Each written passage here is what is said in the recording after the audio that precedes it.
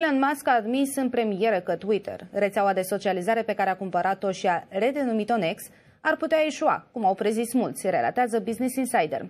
Dumitru Socican, editor al F News, are mai multe detalii despre aceste declarații. Bun găsit, Dima! Bună, Tatiana!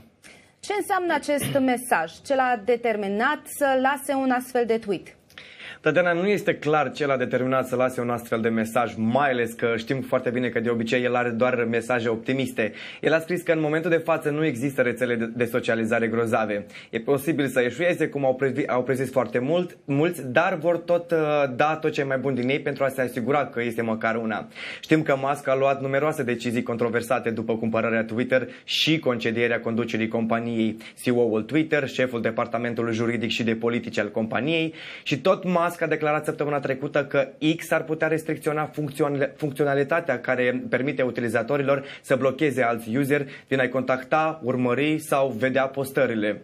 Dima, parcă există și opțiunea bloc. O, o vrea și pe aceasta ștearsă? Da, da, cu excepția mesajelor directe, dar acest lucru a stârnit și multe critici. Jurnaliștii tech au atras atenția că eliminarea sau restricționarea acestei trăsături ar putea atrage eliminarea X din magazinele de aplicații ale Apple și Alphabet, compania mamă de la Google. Regulile de utilizare ale Apple stipulează că o aplicație care include conținut generat de utilizatori trebuie să permită abilitatea de a bloca utilizatorii abuzivi, în timp ce uh, Play Store uh, al Google prevede că aplicațiile trebuie să aibă un sistem care să permită atât blocarea unor utilizatori cât și anumitor tipuri de conținut.